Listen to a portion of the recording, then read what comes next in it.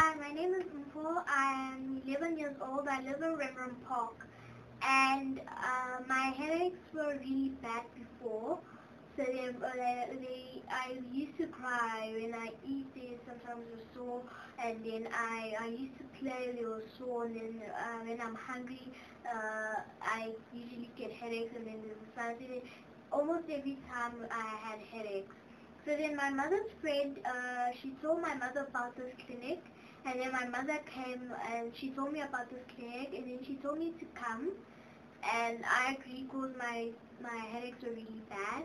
And then she, and then when I came here, they gave me uh, um, uh, PMA, and then my and then my headaches were better since then my mother my mother was busy asking me if my headaches were fine or not. Uh, or before I had the PMA, they, I told her that they're not okay because I usually cut school for the headaches.